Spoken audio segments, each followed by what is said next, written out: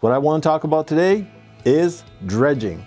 I bet many people haven't even heard about what dredging is. Let me try to explain what that is and the purpose of dredging. Dredging is the removal of sediments and debris from the bottom of lakes, rivers, harbors, and other water bodies. It is a routine necessity in waterways around the world because of sedimentation.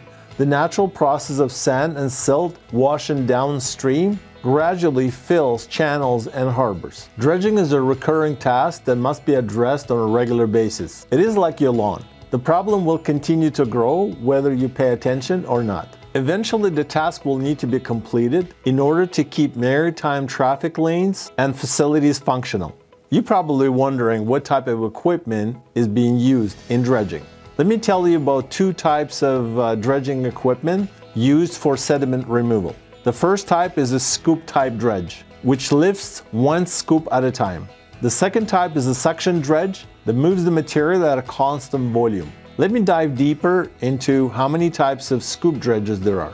Bucket dredge. This type of dredge has many buckets that travel along a boom on cables. The boom is maneuvered underwater, so the buckets take a scoop of sediment and travel back to the vessel or barge where they deposit their load. Bucket dredges are able to pick up large rocks and sand. Teeth are placed at the openings of the buckets and dig deeply into the material.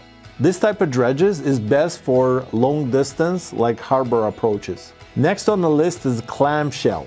These are what many people think when they're picturing a dredge. These are often used in harbor construction when their big boulders or difficult material cannot be removed with other efficient designs. The clamshell has two sides that when closed pick up large amounts of sediment, but this process is very slow and used only when necessary.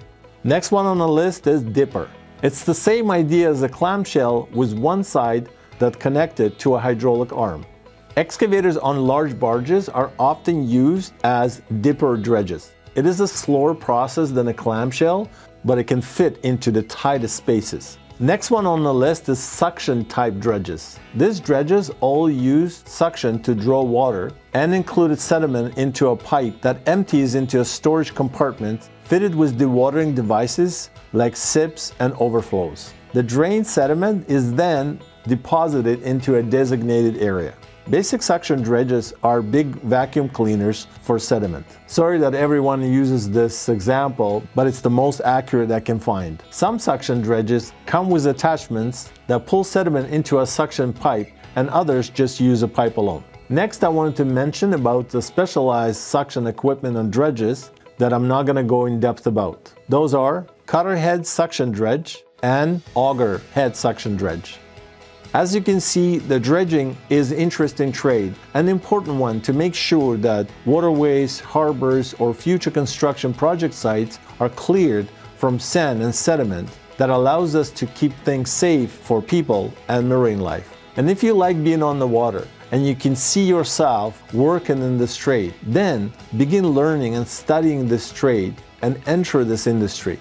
And if you are a dredging company and interested in partnering with us to promote your business and a company to attract more like-minded people, reliable workers, then reach out to us and let's set up a Q&A session to see how we can help you.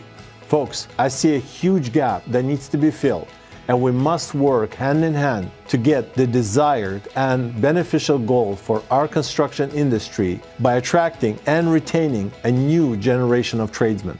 We need more qualified people to build our cities and countries, and I trust we can do it.